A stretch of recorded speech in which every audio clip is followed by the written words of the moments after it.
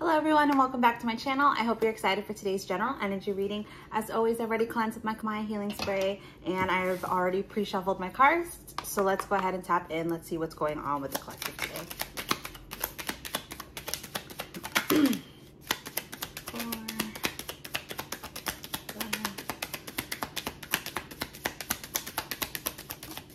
All right. So the first card out was the Four of Pentacles.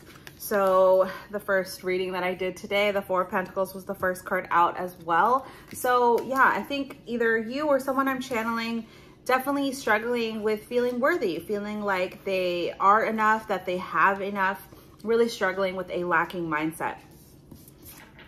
Next, we have a Wheel of Fortune in reverse. This is because they've had a streak of bad luck.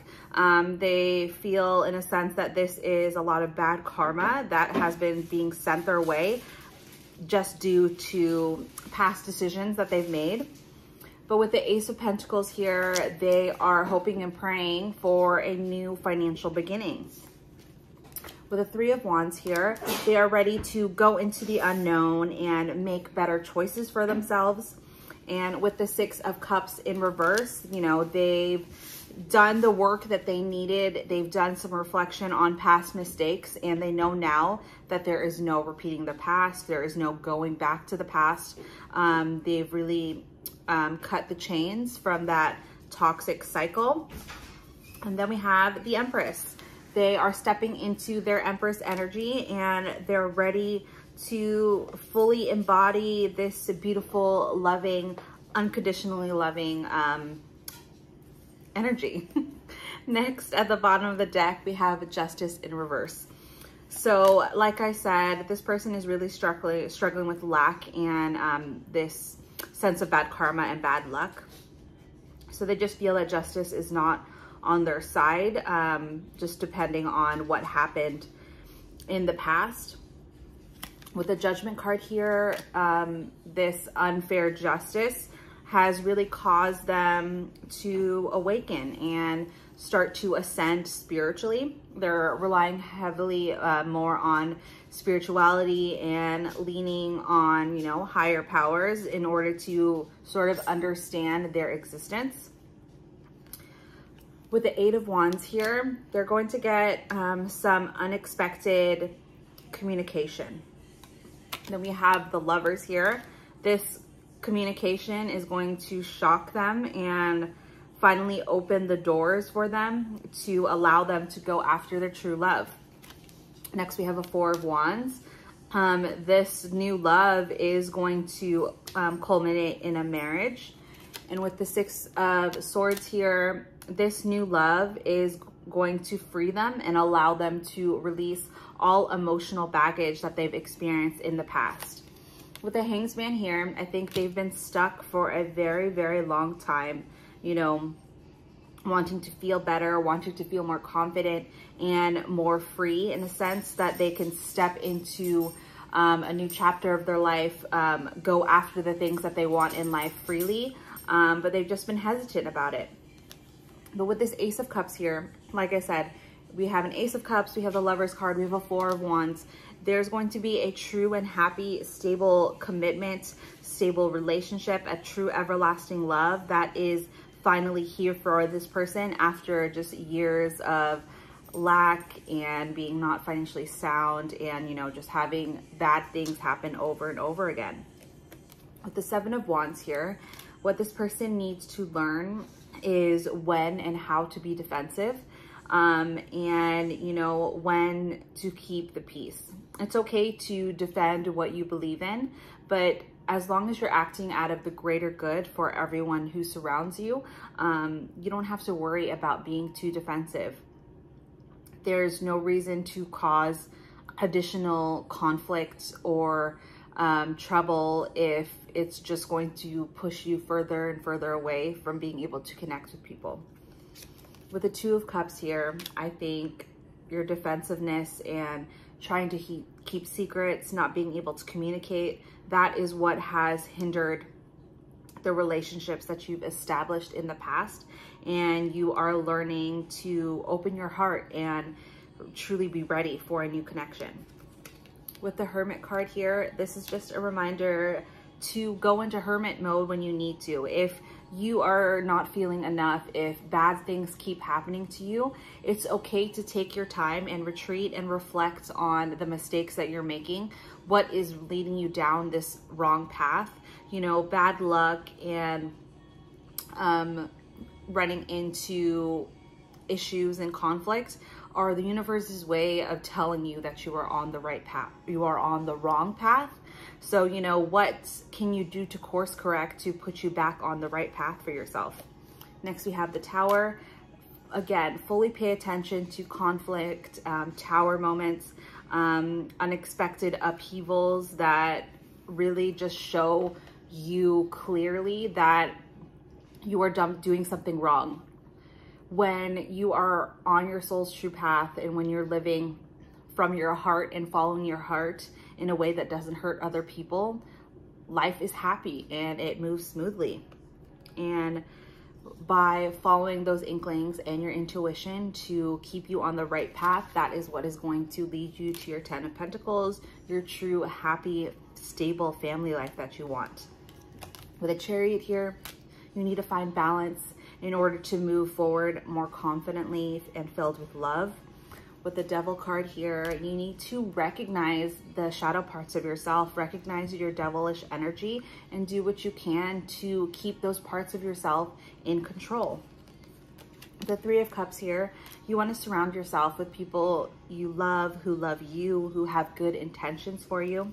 And with the Ace of Swords, you want to always remind yourself to be honest and earnest and, you know, gain the trust of the people around you in order for them to also be honest with you.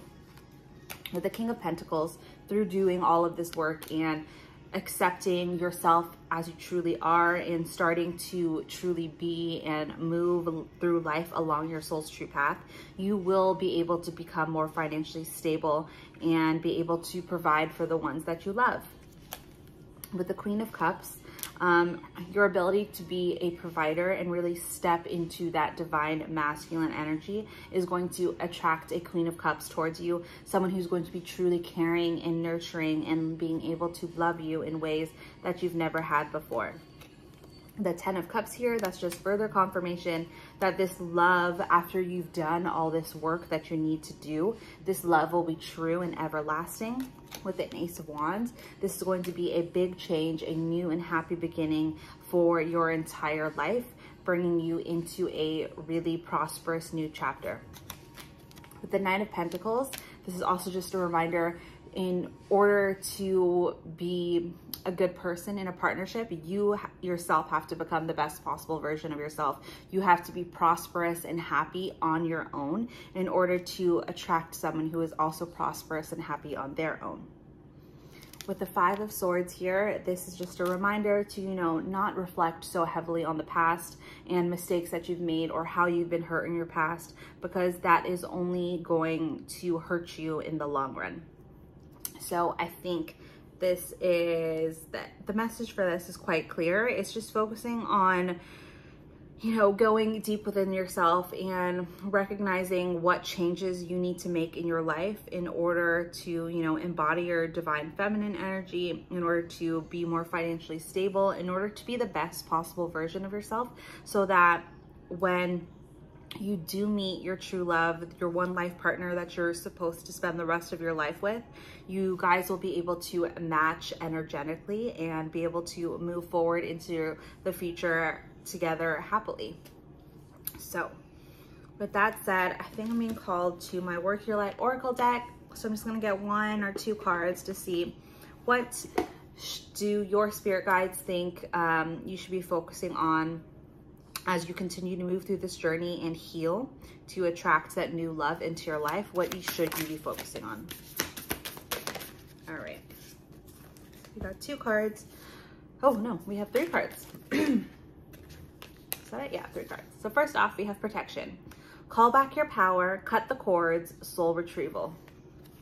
So This is for anyone who is still dealing with exes who are trying to hold you back, anyone with karmic family members, karmic friends that are trying to hold you back and keep you in lower toxic energies. People who, you know, want you to keep dating a ton of people at the same time. People who want you to keep partying that don't want you to do the work. People that put down your ideas of going to therapy or, you know, just doing some work to better yourself anyone who doesn't understand or can't support you as you do things to be a better person and take care of your mental health should be a huge red flag. Next, we have Akasha. Your guidance is divinely guided. So just pay attention to the signs and synchronicities and who you surround yourself with. I think if you truly pay attention and tap into your own intuition, you will be able to pick up on who genuinely cares about you and who doesn't.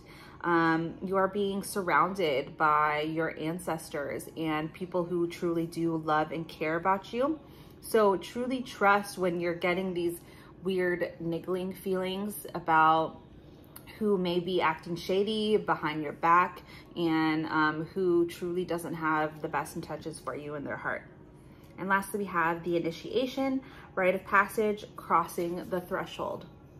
So this is about being brave enough to take that next step, being able to not be afraid of getting this love that you want, because obviously being exactly who you are right now is doing nothing but causing repeated cycles of bad karma and putting you back into bad situations where you're dealing with the same type of people. So in order to get a true and happy love that's going to be different from anything that you've experienced so far, you need to change who you are as a person and turn, transform yourself into someone who is truly deserving and can also give the type of love that you want to receive to another person.